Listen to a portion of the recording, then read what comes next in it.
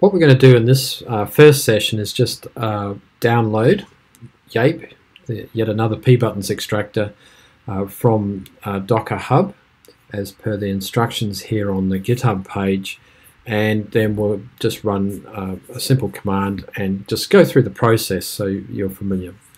Uh, I recommend using the Docker version, the, the container, uh, just because it's the latest stable version and also you, because Yape is written in Python you can get yourself into a little bit of a tangle as far as you know Python versions or libraries and so on. So you know if you really do want to you certainly can run it and uh, make changes for yourself on your local PC but the container is just nice and simple for most users.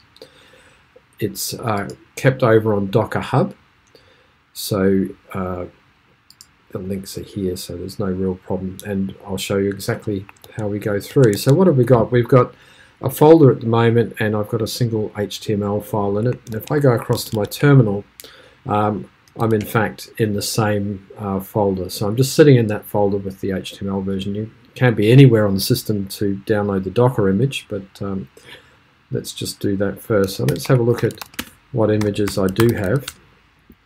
I've got a, a few but uh, not Yape. So let's get uh, let's get Yape Docker pull and Yape Yape and that will go off and get the latest version by default. As I said, you don't have to actually be in any particular directory to pull the image, but we will want to be in this directory when we start running uh, some commands. So because some of this was cached, you know, it's going to be nice and quick. And the first thing we want to do is just, let's run a simple command, um, the help command.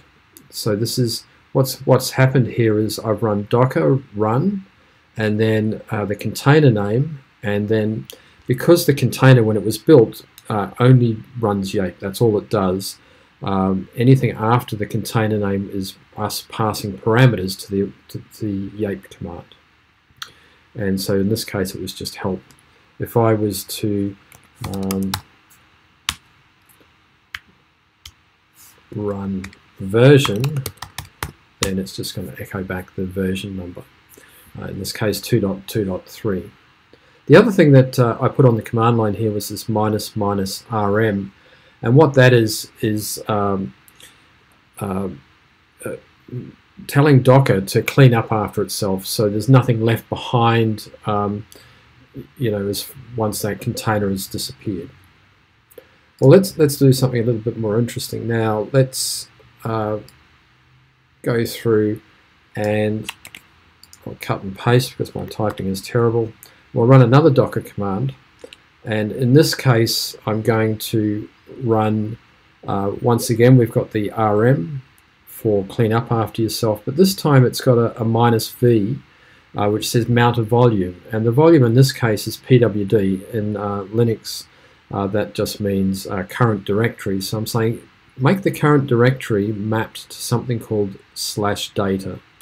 Now, slash data um, is, you know, could be any name we make up. And then here's the Yape you could substitute that and just say, all right, this is the Yape command. I'm asking it to plot mgstat and vmstat in this case. Uh, minus C says also uh, spit out CSV files for all the different sections of the uh, perfmon file. Um, and the reason for that is that it can be really useful later if you wanted to examine things further or make some you know, nicer charts. You can just uh, suck that into Excel and then we pass the name of the HTML file and because as far as the container is concerned anything in the current directory is in slash data the name we tell uh, Yape that's running inside the container is slash data and then the HTML file name.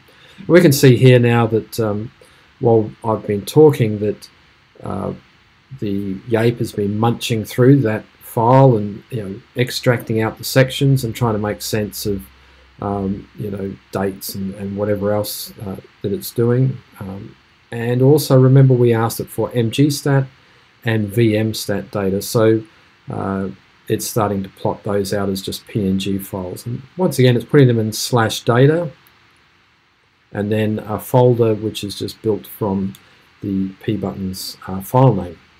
And so what I'll do is I'll just uh, pause the video for a sec. And that was just to, you know, make things go a little bit quicker. So let's do an ls command. And what have we got? Well, we've got our original HTML file, um, file is here. And also we've got a folder. So let's go across the Finder, which makes things a bit easy to see. And if I look in that folder, uh, we've got the CSV files we asked for, for all the sections, including uh, IOStat. And then we've got uh, the MGStat section, so we can see by refs or uh, the VMstat stuff that we asked for. And you know, you can just uh, quickly you know, skip through and see what your system was up to. Uh, if you're troubleshooting, you know, maybe this will help you figure out what was going on at certain times of the day. And that's it for this one. Uh, we'll come back later and start to do a few more interesting things.